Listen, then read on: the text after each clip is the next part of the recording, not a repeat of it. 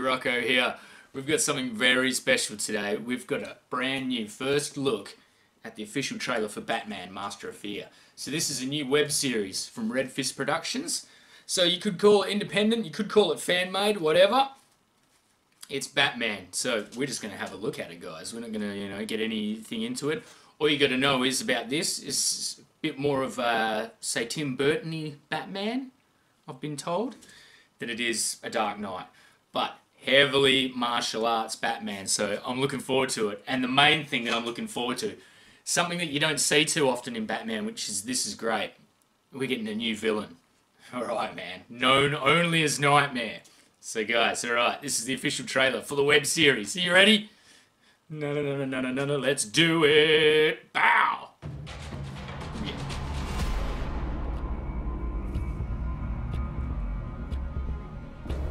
Commissioner, Gordon. Commissioner. Commissioner Gordon. Commissioner Gordon. In the last month, 10 police officers have been killed. Is Gotham City safe? You know, if the mayor can do everything in his power, then what are we still doing here? And I promise you that I, Roman Sionis, will do everything in my power to stop the terror of the Black Mask and any other terrorist that threatens the city. Woo!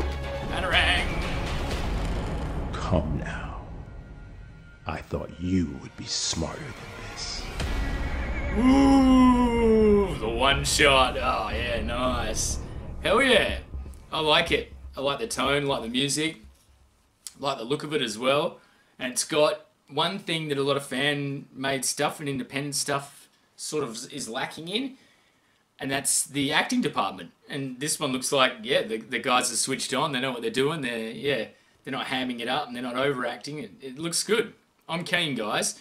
Like, I'm really keen for this especially web series, man. Like, yeah, that's what we need. We need more web series, especially stuff like this. Just keep making them, guys. I totally support anyone like this, and yeah, I love to see independent fan stuff getting good. It's great. The more the the you know every every year they're getting better, and now we got something really cool, especially with this villain, man. This is this is cool. I like the idea of new villains, and this one, Nightmare, from you know Spawn from the Scarecrow yeah, it's going to be good, guys. Let us know what you think down below. What are your hopes and dreams for Batman, Master of Fear? I'm going to see some kick-ass martial arts Batman.